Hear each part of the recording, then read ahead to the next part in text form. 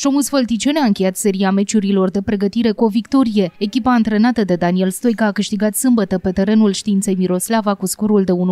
Fălticenenii au avut șansa să deschidă scorul prin Alexandru Savin, dar atacantul sucevean a ratat o lovitură de la 11 metri.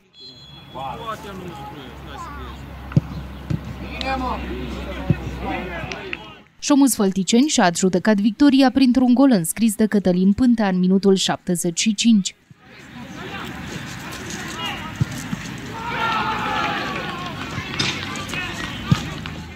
În precedentele jocuri de verificare, toate disputate în deplasare, gruparea fălticeneană a înregistrat următoarele rezultate. 2 la 1 cu LPS Suceava, 2 la 2 cu Bucovina Rădăuți, 1 la 1 cu Aerostar Bacău, 2 la 1 cu FC Bacău, 2 la 1 cu Șoi Migura Humorului, 4 la 0 cu FC Botoșani și 0 la 3 cu CSM Pașcani. Fălticenenii vor relua campionatul Ligii a treia cu un meci pe terenul vasluienilor de la Rapid Brodoc, sâmbătă 9 martie de la ora 15.